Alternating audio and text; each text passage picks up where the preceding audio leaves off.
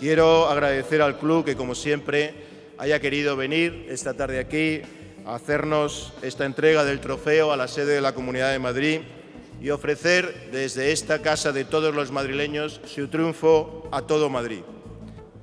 Ayer Madrid fue el centro del mundo, con una final apoteósica que siguieron más de 160 millones de espectadores en todo el planeta.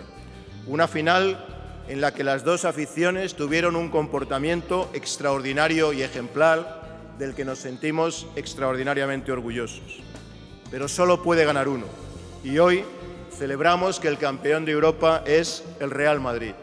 Hoy es un día para celebrar de nuevo los éxitos de un club que vuelve a hacer un año de historia, ganando la decimonovena Copa del Rey, no hay que olvidarse también, y su décima Copa de Europa, consolidando su leyenda como el mejor equipo de la historia del fútbol. Felicidades a todos.